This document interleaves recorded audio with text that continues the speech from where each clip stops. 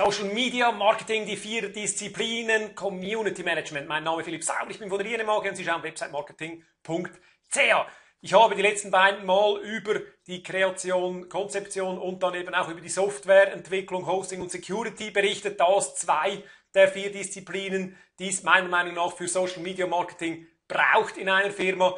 Dann heute geht es um das Community Management, das nächste Mal um Suchmaschinenoptimierung.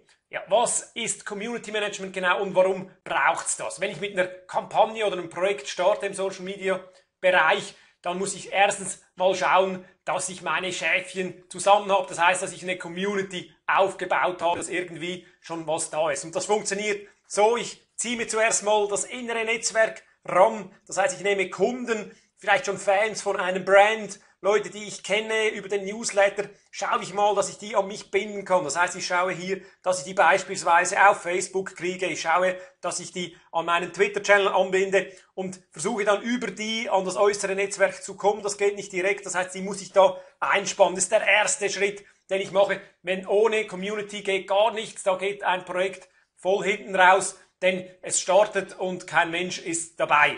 Das zweite dann, ganz wichtig, das Themenkonzept, und zwar Montag bis Sonntag. Über was schreibe ich in einem Blog? Über was berichte ich auf meiner Facebook-Seite? Was kommt auf Twitter vor? Wer macht wann welches YouTube-Video? Das muss abgestimmt sein. Das muss ein Konzept geben, das Tag für Tag festlegt, wer was macht. Das können Serien sein. Ist natürlich am einfachsten, immer am Montag. Dasselbe immer am Dienstag. Dasselbe vom, vielleicht sogar vom selben Autor ist natürlich dann auch einfacher zum Planen und da muss das vor allem kontrolliert werden. Und dann als drittes, wenn die Posts mal draußen sind, dann geht es ans Verbreiten und das ist der Community Manager, der das macht. Das heißt, er bringt beispielsweise die Posts auf einem Blog beispielsweise oder auch vom Facebook eben noch auf Twitter raus. Immer noch ein bisschen spannend geschrieben, logischerweise. Man schaut natürlich, dass man in den Communities präsent ist. Das heißt, man schaut, dass man in Blogs kommentiert oder auch in Foren sich tummelt, dann geht's auf die Social Networks. Klar, ich will nicht einfach, dass von meinem Blog aus automatisch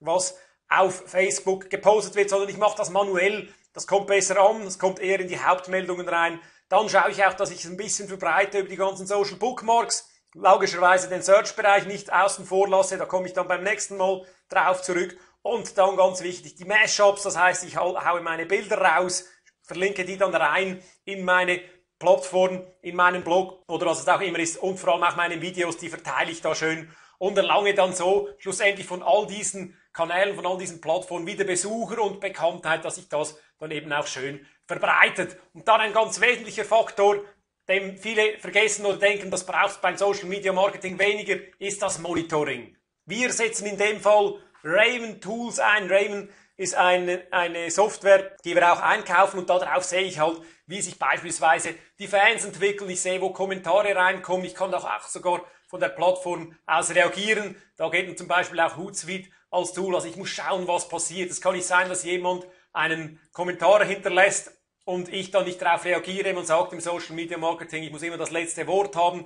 Das ist natürlich blöd. Es kann auch mal was Spammiges reinkommen oder was, das mir nicht passt. Auch das muss ich natürlich sehen und darauf reagieren können.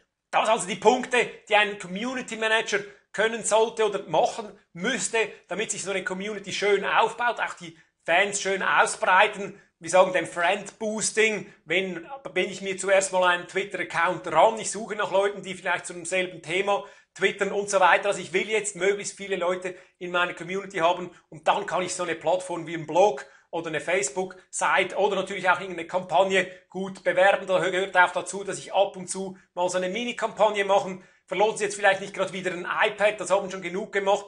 Aber überlegen Sie sich, was zu Ihrer Zielgruppe passt, nehmen Sie was aus Ihrem Sortiment raus und preisen Sie das an, dann ziehen Sie auch die richtigen Leute an. So also, mein, geht meine Gedanken zum Thema Community Management. Wie sehen Sie das? Würde mich wie immer hier interessieren. Mein Name ist Philipp Saub, ich bin von der INM AG und Sie haben websitemarketing.ch geschaut.